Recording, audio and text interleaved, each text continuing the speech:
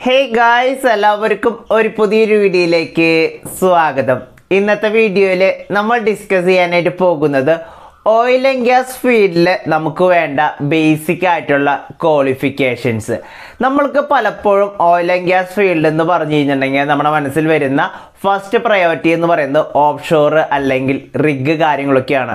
റിഗിൽ പണിയെടുത്താൽ നമുക്ക് കൂടുതൽ സാലറി കിട്ടും. എന്നൊക്കെ മനസ്സിൽ ഒക്കെ കണ്ടുകൊണ്ടാണ് അല്ലെങ്കിൽ നമ്മുടെ നാട്ടിലെ ഏതെങ്കിലും ഒരാൾ റിഗിലൊക്കെ വർക്ക് ചെയ്യുന്നുണ്ടായിരിക്കും. ആളുടെ കയ്യിൽ കുറേ പൈസ ഉണ്ടെന്നൊക്കെ കേട്ടിട്ടാണ് നമ്മൾ പൊതുവെ എല്ലാവരുടെ മനസ്സിലും റിഗിലേക്ക് പോയാൽ നമുക്ക് സെറ്റ് ആവാലോ? പിന്നെ അല്ലെങ്കിൽ നമുക്ക് രണ്ട് മാസം കൂടുമ്പോൾ ലീവ് കിട്ടും വീണ്ടും നാട്ടിലേക്ക് വരാം വീണ്ടും പോകാം. അപ്പോൾ അങ്ങനെ ഒരു മൈൻഡ് സെറ്റോട് കൂടിയിട്ടാണ് പോകുന്നത്. അപ്പോൾ എനിക്ക് പലപ്പോഴായിട്ട് നിങ്ങളിൽ കുറേ പേര് മെസ്സേജ് അയക്കാറ്. ചേട്ടാ ഞാൻ പ്ലസ് ടു കഴിഞ്ഞിട്ടുണ്ട് അല്ലെങ്കിൽ ടെൻത്ത് കഴിഞ്ഞിട്ടുണ്ട്. ഓയിൽ ആൻഡ് ഗ്യാസ് ഫീൽഡിൽ എനിക്ക് വല്ല എന്താ എന്താ ഗ്രോത്ത് ഉണ്ടാവും? എനിക്ക് പോകാനായി പറ്റുമോ എന്നൊക്കെ ചോദിച്ചിട്ടുണ്ടായിരുന്നു. അപ്പോൾ അതിനെ ബേസ് ചെയ്തിട്ടൊരു വീഡിയോ ചെയ്യാമെന്ന് വിചാരിച്ചു. ട്വൽത്ത് ആയാലും ടെൻത്ത് ആയാലും അതൊക്കെ പാസ്സായി കഴിഞ്ഞാൽ ഓയിൽ ആൻഡ് ഗ്യാസ് ഫീൽഡിലേക്ക് പോകാനായിട്ട് സാധിക്കും. ബട്ട് ഞാൻ പലപ്പോഴായിട്ട് പറയാറുണ്ട് ട്വൽത്ത് ഒക്കെ കഴിഞ്ഞ് നിൽക്കുന്ന ആൾക്കാരാണെങ്കിൽ ഒരു ഡിഗ്രി ഒക്കെ ഉണ്ടെങ്കിൽ നമ്മുടെ ഗ്രോത്തിന് നമ്മുടെ ആ ഓയിൽ ആൻഡ് ഗ്യാസ് ഫീൽഡിലെ വളർച്ചയ്ക്ക് ഏറ്റവും ഇമ്പോർട്ടന്റ് ആണ് ഇമ്പോർട്ടന്റ് ആയിട്ടുള്ള ഒരു കാര്യമാണ് എഡ്യൂക്കേഷൻ എന്ന് പറയുന്നത്. നമുക്കൊരു ഡിഗ്രി ബേസിസ് ലെവലിലൊക്കെ നിങ്ങൾ ഓയിൽ ആൻഡ് ഗ്യാസ് ഫീൽഡിലേക്ക് ഇറക്കുക കയറുകയാണെങ്കിൽ നിങ്ങളുടെ ആ ഡിഗ്രി വെച്ച് നിങ്ങളുടെ പോസ്റ്റുകൾ ഹയർ ആവാനുള്ള ചാൻസസ് ഉണ്ട്. പിന്നെ നിങ്ങൾ പലപ്പോഴായിട്ട് ഓയിൽ ആൻഡ് ഗ്യാസ് ഫീൽഡ് എന്ന് പറഞ്ഞു കഴിഞ്ഞിട്ടുണ്ടെങ്കിൽ ഈ ക്യു സി കോഴ്സ് മാത്രമല്ല അത് നിങ്ങളുടെ മനസ്സിലേക്ക് കൊണ്ടുവരാനായിട്ട് ശ്രദ്ധിക്കുക. ഇപ്പോൾ നമ്മുടെ ഫയർ ആൻഡ് സേഫ്റ്റി ആയിക്കോട്ടെ. ഈ ഫയർ ആൻഡ് സേഫ്റ്റി പഠിച്ച ആൾക്കാർക്കും ഓയിൽ ആൻഡ് ഗ്യാസ് ഫീൽഡിലേക്ക് വരാം. അതിന്റെ ഉള്ള ഫസ്റ്റ് ഫയർമാനായിട്ട് കയറി പിന്നെ സേഫ്റ്റി ഓഫീസറായിട്ട് കയറുക അങ്ങനെയാണ് നമുക്ക് അങ്ങനെ പറയുന്നത്. അതിന് ഞാൻ എപ്പോഴും പറയാനുള്ളത് ഈ ട്വൽത്ത് കഴിഞ്ഞിട്ടൊക്കെ ഉള്ള ആൾക്കാർക്ക് ട്വൽത്ത് ബേസിസിലൊക്കെ നിങ്ങൾക്ക് കയറാൻ ആഗ്രഹിക്കുന്നുണ്ടെങ്കിൽ ഫയർ ആൻഡ് സേഫ്റ്റി ഒക്കെ പഠിച്ചിട്ട് അങ്ങനെ കയറുന്നതായിരിക്കും ഇത്രയും കൂടി ബെറ്റർ എന്താണെന്നുണ്ടെങ്കിൽ ഈ Q and Q Q A Q C കോഴ്സുകൾ പഠിച്ചു കഴിഞ്ഞിട്ടുണ്ടെങ്കിൽ ബേസിക്കലി പറഞ്ഞിട്ടുണ്ടെങ്കിൽ അതൊരു ഡോക്യുമെന്റേഷൻ ലെവലായിട്ടുള്ള ജോബുകളാണ് അതിന് കൂടുതൽ പ്രിഫർ ചെയ്യുന്നത് ഈ ഡിപ്ലോമ അല്ലെങ്കിൽ ഒരു ഡി ബി ടെക് പഠിച്ച സ്റ്റുഡൻസിനെ ആയിരിക്കും. അല്ലെങ്കിൽ ആ ലെവലുള്ള ക്വാളിഫിക്കേഷൻ പ്രൊഫഷണൽ ക്വാളിഫിക്കേഷനുള്ള ആൾക്കാരായിരിക്കും അല്ലെങ്കിൽ നമുക്കൊരു എൻ ഡി ടി ടെക്നീഷ്യനോ ടെക്നീഷ്യൻ ലെവലിലായിട്ട് നമ്മൾ അവിടെ നിൽക്കേണ്ട വരും. അതിനുശേഷം നിങ്ങൾക്ക് ഗ്രോ ചെയ്യണമെങ്കിൽ പിന്നെയും അതിന് മേലേക്കുള്ള കോഴ്സുകൾ എടുത്താൽ മാത്രമാണ് നിങ്ങൾക്ക് ഗ്രോ അപ്പ് ചെയ്യാൻ സാധിക്കുള്ളൂ. പിന്നെ അത് കഴിഞ്ഞിട്ടുണ്ടെങ്കിൽ ഒരു എക്സാമ്പിളായിട്ട് പറഞ്ഞിട്ടുണ്ടെങ്കിൽ സി സിപ്പ് ത്രീ പോയിന്റ് വണ്ണ് അത് കഴിഞ്ഞാൽ നെയ്സ് ലെവൽ ടു എക്കോ എന്ന് പറയുന്ന കോഴ്സുകൾ അല്ലെങ്കിൽ കോഴ്സ് എന്ന് പറയാൻ പറ്റില്ല അതിനൊരു സർട്ടിഫിക്കേഷൻ എന്ന് വേണമെങ്കിൽ പറയാം. ഈ സർട്ടിഫിക്കേഷൻ എടുക്കാൻ അറൗണ്ട് നമുക്കൊരു ഒന്നര ലക്ഷം ഒന്നേ മുക്കാൽ ലക്ഷം ഒക്കെ പൈസ വരും.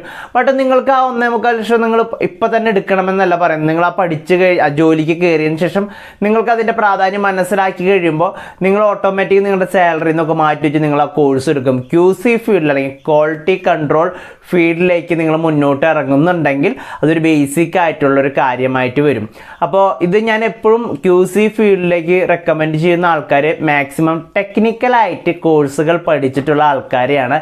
ഞാൻ എപ്പോഴും അതിനായിട്ട് ചെയ്യുകയുള്ളൂ. എന്താ പറയുകയുള്ളൂ. എന്തൊക്കെയാണെന്നുണ്ടെങ്കിൽ ബാക്കിയുള്ളവർ കയറില്ല എന്നല്ല ഞാൻ പറയുന്നത്. കൂടുതലായിട്ട് പോസ്റ്റും ആൻഡ് ഫ്യൂച്ചർ ഉണ്ടാവുന്നതിനായിട്ട് എപ്പോഴും ബി ടെക്കോ അല്ലെങ്കിൽ പോളിടെക്നിക്കോ ഒക്കെ പഠിച്ച ആൾക്കാർ അത് പഠിക്കുമ്പോഴാണ്. അല്ലെങ്കിൽ കൂടുതൽ മെക്കാനിക്കൽ റിലേറ്റഡ് ആയിട്ട് അല്ലെങ്കിൽ ഇൻസ്ട്രുമെന്റേഷൻ ഒക്കെ പഠിച്ച ആൾക്കാർ ചെയ്യുമ്പോഴാണ് അതിന് അതിന്റേതായിട്ടുള്ള ഗ്രോത്ത് ഉണ്ടാവുകയുള്ളൂ. ബാക്കിയുള്ള ഡിഗ്രി ബേസിസുകാർക്ക് ഓയിൽ ആൻഡ് ഗ്യാസ് ഫീൽഡിലേക്ക് കടക്കാനായിട്ട് ഏറ്റവും നല്ലൊരു മാർഗം എന്ന് പറഞ്ഞിട്ടുണ്ടെങ്കിൽ ഈ ഫയർ ആൻഡ് സേഫ്റ്റിയിലോ അല്ലെങ്കിൽ അയോഷോ നെബോഷോ തുടങ്ങിയിട്ടുള്ള സർട്ടിഫിക്കേഷൻസ് എടുത്ത് ഒരു കൊല്ലത്തൊക്കെ എക്സ്പീരിയൻസ് ഉണ്ടെങ്കിൽ നമുക്ക് ആ ബേസിസിൽ നമുക്ക് ഓഫ് ഷോറിലേക്ക് ആയിക്കോട്ടെ റിഗിലേക്ക് ആയിക്കോട്ടെ കയറാനായിട്ട് സാധിക്കും. പിന്നെ അത് കഴിഞ്ഞാൽ ടെൻത്ത് ട്വൽത്ത് ഒക്കെ കഴിഞ്ഞ ആൾക്കാരുകൾക്ക് കുറേ ഓപ്ഷൻസ് അവൈലബിൾ ആണ്.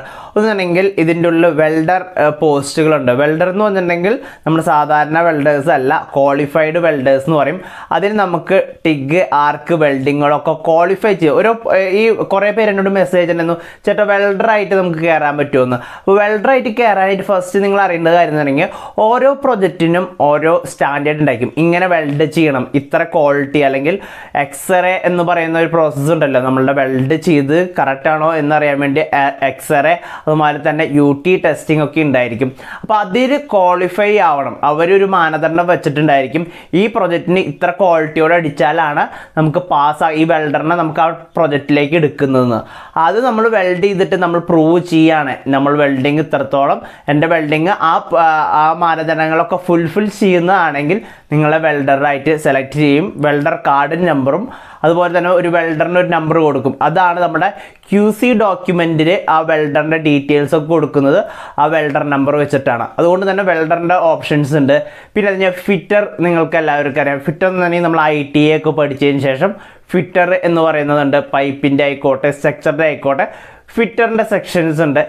പിന്നെ അത് കഴിഞ്ഞിട്ടുണ്ടെങ്കിൽ നിങ്ങൾക്ക് നെക്സ്റ്റ് ആയിട്ട് പറഞ്ഞിട്ടുണ്ടെങ്കിൽ ഈ ഡിഗ്രി പഠിച്ചവർക്ക് തന്നെ വേറൊരു ഓപ്ഷൻ എന്ന് പറഞ്ഞിട്ടുണ്ടെങ്കിൽ മെറ്റീരിയൽ കൺട്രോളർ അങ്ങനെ പറഞ്ഞിട്ടുണ്ടെങ്കിൽ മെറ്റീരിയലൊക്കെ ഹാൻഡിൽ ചെയ്യുന്ന ആൾക്കാർ അത് കഴിഞ്ഞിട്ടുണ്ടെങ്കിൽ വേറെ സെക്ഷൻ പറഞ്ഞിട്ടുണ്ടെങ്കിൽ പെർമിറ്റ് കോർഡിനേറ്റർ എന്ന് പറയുന്ന ഓപ്ഷൻസ് ഒക്കെ. നിങ്ങൾ പലപ്പോഴും ഈ വേക്കൻസീസ് കാണുന്ന സമയത്ത് ശ്രദ്ധിച്ചിട്ടുണ്ടായിരിക്കും ഇങ്ങനത്തെ കുറേ ഓപ്ഷൻസ് പിന്നെ അത് കഴിഞ്ഞിട്ടുണ്ടെങ്കിൽ അടുത്ത ലെവലിലേക്ക് വരുന്ന കഴിഞ്ഞാൽ റിഗർ എന്ന് പറയും. നമ്മുടെ നാട്ടിൽ വെയിറ്റ് ഒക്കെ ഈ സപ്പോർട്ട് ചെയ്യുന്ന ആൾക്കാർ ഈ വർക്കേഴ്സിന് അല്ലെങ്കിൽ ഈ നടക്കുന്ന പൈപ്പിംഗ് ആയിക്കോട്ടെ സ്ട്രക്ചറൽ ആക്ടിവിറ്റീസ് ആയിക്കോട്ടെ റിഗിങ് ചെയ്യുന്ന ആൾക്കാർ ഇത് അവിടേക്ക് ലൊക്കേഷനിലേക്ക് എത്തിക്കുക.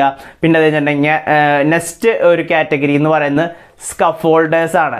നമ്മൾ നിങ്ങൾ നെറ്റിലേക്ക് അടിച്ചു നോക്കുക സ്കഫോൾഡിങ് എന്താണെന്ന് അറിയില്ലെങ്കിൽ ഒരു ടെമ്പററി സ്ട്രക്ചർ ഉണ്ടാക്കുകയാണ് നമ്മളൊരു സ്ഥലത്ത് ഒരു സാധനം ബിൽഡ് ചെയ്യുന്നതിന് മുന്നായിട്ട് നമ്മൾ അവിടെ കയറി പണിയെടുക്കാൻ വേണ്ടിയിട്ടൊരു ടെമ്പററി ആയിട്ടൊരു ഫോൾഡിങ് നിർമ്മിക്കുന്ന ആൾക്കാരാണ് സ്കഫോൾഡേഴ്സ് എന്ന് പറയുന്നത്. പിന്നെ അത് കഴിഞ്ഞാൽ ഹെൽപ്പേഴ്സ് ഉണ്ട്. ഏതൊരു ഫിറ്ററിനായിക്കോട്ടെ വെൽഡറിന് നിങ്ങൾക്ക് ഏത് ഫീൽഡിലേക്ക് വരാനാണ് ആഗ്രഹമുള്ളത്? ബേസിക്കലി പറയാം വെൽഡർ ആവാൻ ആഗ്രഹമുണ്ടെങ്കിൽ ഫസ്റ്റ് വെൽഡറിന്റെ ഹെൽപ്പറായിട്ട് നിൽക്കണം. അത് കഴിഞ്ഞ് ഫിറ്റർ ആവാൻ ആഗ്രഹമുണ്ടെങ്കിൽ ഫിറ്ററിന്റെ ഹെൽപ്പറായി നിന്നതിന് ശേഷം ഫിറ്റിംഗ് പഠിച്ചതിന് ശേഷമാണ് ഫിറ്ററായി മാറുന്നത്. അതുമാതിരി തന്നെ ഏതൊരു ആക്ടിവിറ്റിക്കും ഫസ്റ്റ് ഒരു ഹെൽപ്പറായി. ഇപ്പോൾ എഞ്ചിനീയർ ആവാൻ നിങ്ങൾ ഡയറക്റ്റ് എഞ്ചിനീയർ ആവാൻ നോക്കി കഴിഞ്ഞാൽ അറിയില്ലല്ലോ.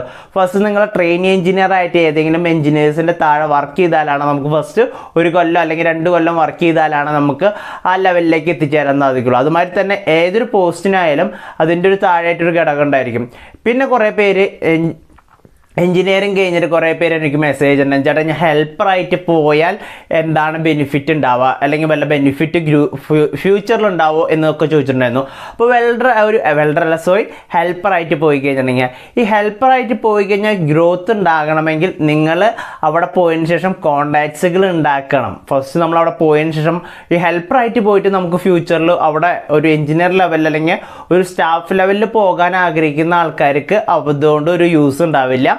പിന്നെ നിങ്ങൾ ഹെൽപ്പറായിട്ട് പോയതിന് ശേഷം നിങ്ങളുടെ ഒരു അവിടെ ചെന്നതിന് ശേഷം ആൾക്കാരുമായിട്ട് അല്ലെങ്കിൽ അവിടുത്തെ ഓഫീസേഴ്സുമായിട്ടൊരു നല്ലൊരു ഫ്രണ്ട്ഷിപ്പും കാര്യങ്ങളൊക്കെ ഉണ്ടാക്കിയതിന് ശേഷം നമ്മുടെ ആ നമ്മൾ ചെയ്യുന്ന വർക്കിൽ അവർക്കൊരു കോൺഫിഡൻസ് ഒക്കെ വന്നതിന് ശേഷം ഇൻ കേസ് വല്ല റെക്കമെൻഡേഷൻ ത്രൂ നമുക്ക് വേണമെങ്കിൽ അടുത്ത പ്രൊജക്റ്റ് ഒക്കെ വരുന്ന സമയത്ത് അല്ലെങ്കിൽ അടുത്ത സീസണിലേക്ക് നമുക്ക് വേണമെങ്കിൽ അപ്ലൈ ചെയ്യാൻ സാധിക്കും. അങ്ങനെ കുറച്ച് പേര് ഒരു ആയിരം പേര് ഉണ്ടെങ്കിൽ അതിന്റെ ഉള്ളിൽ നിന്ന് ഒരു ആയിരം എന്ന് പറഞ്ഞ ഒരു നൂറ് പേരുണ്ടെങ്കിൽ അതിന്റെ ഉള്ളിൽ നിന്നൊരു അഞ്ചാറ് പേരൊക്കെ ഇങ്ങനെ അടുത്ത പ്രൊജക്റ്റ് ഒക്കെ വരുന്ന സമയത്ത് ഇത്തിരി കൂടി നല്ല പോസ്റ്റിലേക്ക് വരുന്നത് ഞാൻ കണ്ടിട്ടുണ്ട്.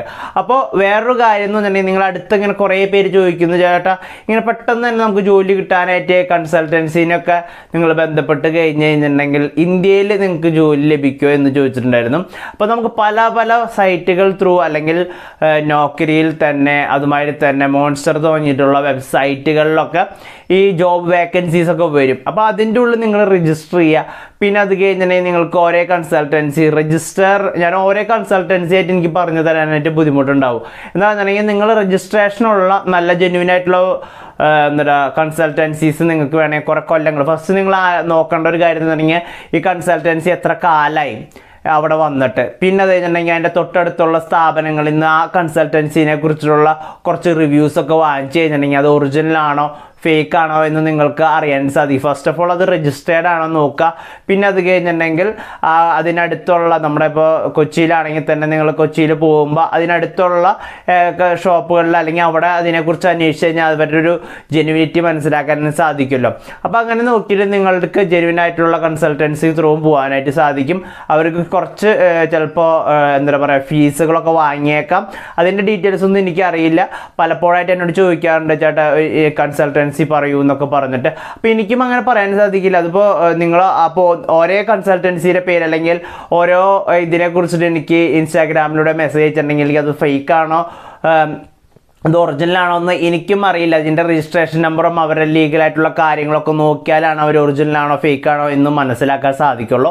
പിന്നെ കുറേ പേര് എനിക്ക് ഓഫർ ലെറ്റേഴ്സും ഒക്കെ അയച്ചു തരാറുണ്ട്. ചേട്ടാ ഇത് ഒറിജിനലാണോ എന്നൊക്കെ ചോദിച്ചിട്ട്. ഓഫർ ലെറ്റേഴ്സ് നോക്കിയിട്ട് ഒരിക്കലും ആ കമ്പനിക്ക് ഒരിക്കലും പൈസ കൊടുക്കുന്നത് നമ്മൾ ഒരിക്കലും ശുദ്ധ മണ്ടത്തരം എന്ന് വേണമെങ്കിൽ പറയാൻ സാധിക്കും. ഓഫർ ലെറ്റർ നിങ്ങൾ തന്നെ ഒന്ന് ആലോചിച്ച് നോക്കുക ആർക്കും വേണമെങ്കിലും ഉണ്ടാക്കാൻ സാധിക്കുന്നതാണ്.